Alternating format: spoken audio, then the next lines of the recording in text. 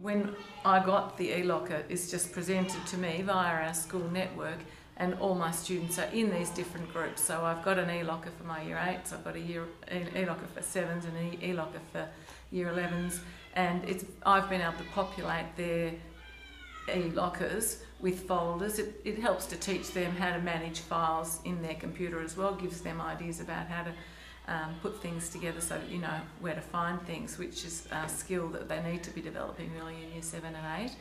Um, and from our perspective, it's just absolutely simple. And I've also gone another step further and made a few files of my own. So I've made a file for all the maths staff on this campus and a demonstration file for when I'm um, helping other teachers to learn about the e-locker and sharing documents with other staff. And it's very easy to do. The ones that are there with the classes that come through our Synergy system are already set up, but it's also really easy just to make your own groups if you need them.